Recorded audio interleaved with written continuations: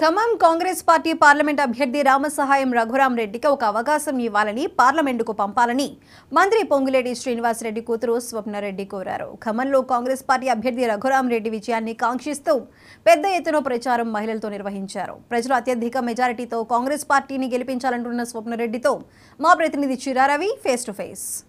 Parliament అభ్యర్థిగా Congress party నుంచి పోటీ చేస్తున్న రఘురామరెడ్డి గారి ప్రచారంలో వారి కోడళ్ళు ప్రచారం విస్తృతంగా చేస్తున్నారు. ఈ నేపథ్యంలో వారిని ప్రచారం ఎలా ఉందనేటువంటి విషయాలను అడిగి తెలుసుకున్నాయి ఏమండి చెప్పండి మీరు శ్రీనివాసరెడ్డి గారి బిడ్డగా గతంలో ప్రచారం చేశారు రాజకీయ నేపథ్యం నుంచి మీ మామగారి ప్రచారం ఎలా ఉన్నది? నమస్తే అండి ఖమ్మం జిల్లా ప్రజలందరికీ నమస్తే. నాన్నప్పుడు చేసింది కరెక్టే. అప్పుడు పాలేరు నియోజకవర్గం తిరిగినాము ఇప్పుడు మొత్తం ఖమ్మం జిల్లా తిరగడం జరుగుతుంది.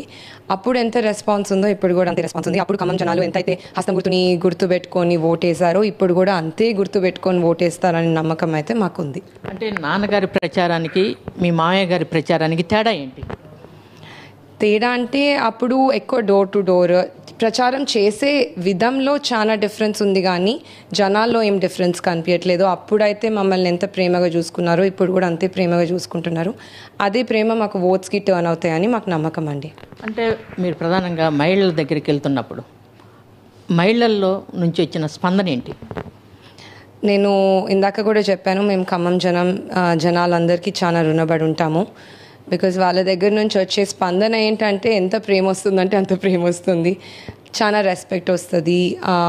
యూనో వాళ్ళు మాకు ఇచ్చే వెల్కమ్లో కానీ వాళ్ళు మాతో మాట్లాడే విధంలో కానీ చాలా మంచిగా అనిపిస్తుంది.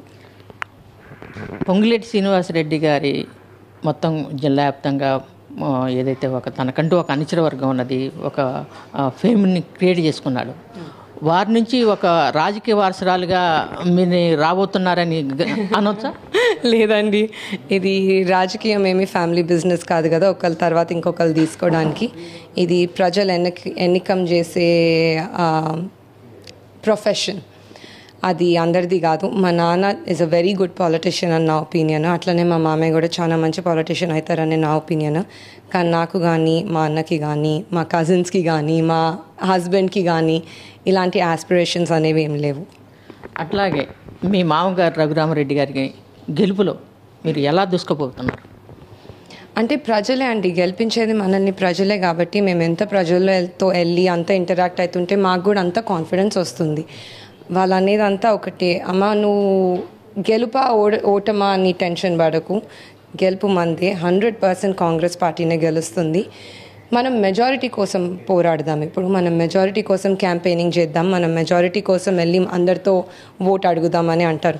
ఇంకా వాళ్ళే అంత కాన్ఫిడెంట్గా మాట్లాడుతుంటే నా కాన్ఫిడెన్స్ ఇంకా బూస్ట్ అవుతుంది కదా? అట్లాగే జిల్లా ప్రజలకి పొంగులేటి కూతురుగా రఘురామరెడ్డి కోడలుగా ఏం చెప్పదలుచుకున్నారు? హస్తం గుర్తుకే ఓటేయండి. కాంగ్రెస్ పార్టీని మళ్ళీ ఖమ్మం జిల్లాలో గెలిపించండి.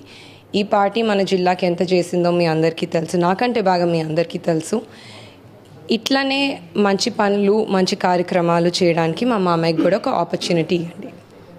థ్యాంక్ యూ రఘురామరెడ్డి గారి కోడలుగా ఒక జిల్లా ప్రజల్ని అభ్యర్థిస్తున్నాం. ఒకసారి అవకాశం ఇవ్వండి.